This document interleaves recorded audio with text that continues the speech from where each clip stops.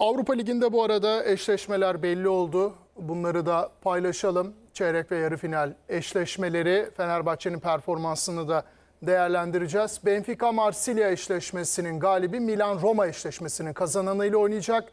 Liverpool Atalanta eşleşmesinin galibi Bayer Leverkusen West Ham. Düzeltiyorum. Benfica Marsilya kazananı Liverpool Atalanta, Milan Roma kazananı Bayer Leverkusen West Ham.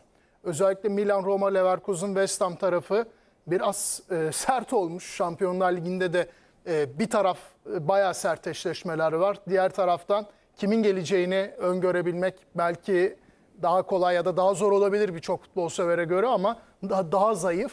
Bu tarafta da daha zayıf. Ee, yani Liverpool'un çok açık favori olduğu bir taraf var. Diğer taraftan kim gelir finale emin olmak çok zor. Çok zor evet. Çok dengeli olmuş orası. Bu, bu takımlar arasında kaç tanesi Şampiyonlar Ligi'nden gelme? Hemen şöyle bir tekrar Benfica göz Şampiyonlar. Ligi'nden Benfica geldi. Şampiyonlar Ligi doğru. Milan Şampiyonlar Şampiyonlar Ligi. Leverkusen dışında- değil, West Ham değil. Sadece Benfica ile Evet. Milan. Benfica Milan. O kadar. İkisi. İki takım.